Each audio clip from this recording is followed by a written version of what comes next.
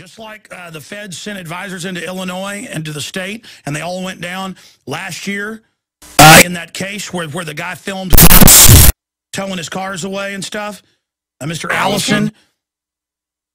And, and they actually put briefs in and said, We want him to serve life in prison, yes.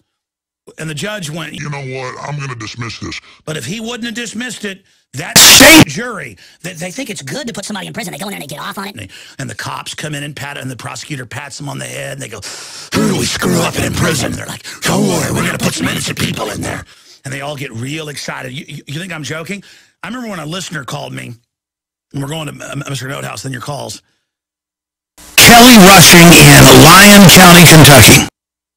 This is about eight years ago now.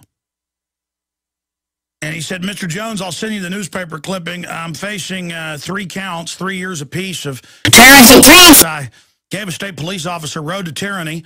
They're charging me for that, but also the Ron Paul speech on there. I put that on. I'm charged with both.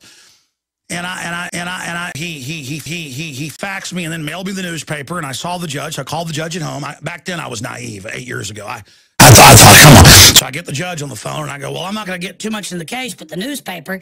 You're really go- you're you're you're you're actually not mistrialing somebody facing nine years in jail for giving a cop a video. And he said, I'm not going to talk to you about it, but yes, it's going to court. So then they had the hearing. And the cop come, comes in and says, he gave me that video and it's anti-government. and the, and the judge says, we find that threatening. You will convict. And the jury didn't. And it was in the news. But they actually wanted to put him in jail for going, officer. In fact, the cop even testified, this is important for your future and your family's future. And they said that was a threat, mentioning family.